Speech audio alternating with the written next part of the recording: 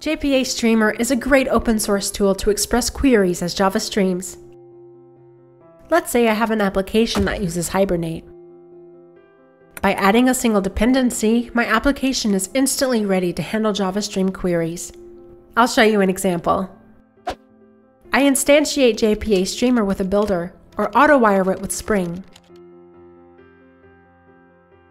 Now I can easily stream the rows of any table and apply a pipeline of operations to narrow the result. As you can tell, the queries are both intuitive to write and read. Furthermore, type safety allows me to detect errors immediately, and I can leverage code completion to compose queries quickly. My streams are automatically rendered into optimized JPA queries to minimize the burden on the JVM and the database. This means I can boost my development speed without affecting the performance. Visit jpastreamer.org to try it out for yourself by using the Maven or Gradle dependency.